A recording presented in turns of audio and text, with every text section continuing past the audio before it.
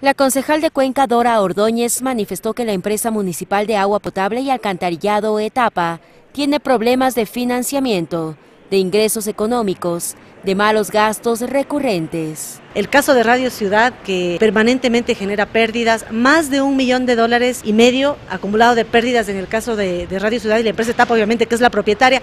Todos esos temas, vea, todos y muchos de los negocios que se han planteado para la empresa desde el 2014 y quizás desde antes también, debo decirlo y reconocer eso, dan cuenta de que la empresa no puede pararse. Se informó que la Asociación de Empleados tendría inconvenientes con la actual administración Ordóñez invitó a los concejales que no tienen claro el tema de etapa a revisar el informe de Contraloría. A que busquen en los medios de comunicación, que vean en los medios de prensa, en donde está recogido todo el proceso de investigación, de elementos de convicción que incluso nosotros tuvimos para en su momento denunciar. Manifestó que el tema no es político, sino de fiscalización, y se cuestionó al alcalde de Cuenca, Marcelo Cabrera, y a la administración de etapa de que no hayan dado soluciones a estos temas que todos estos años no han podido ver una línea directa de salida de la crisis económica que tiene. La historia nos da la razón, el informe de la Contraloría dice claramente, en el caso de los procesos que fueron adjudicados y luego dados de baja, claramente dice el informe que debieron haberse descalificado todas las ofertas y no lo hicieron. En el caso de Radio Ciudad,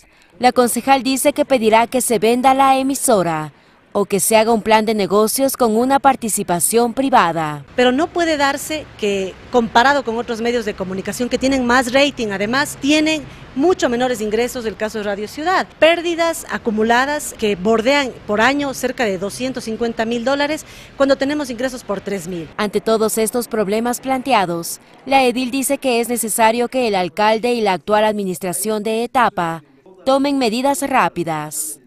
María José Ortega, Unción Televisión.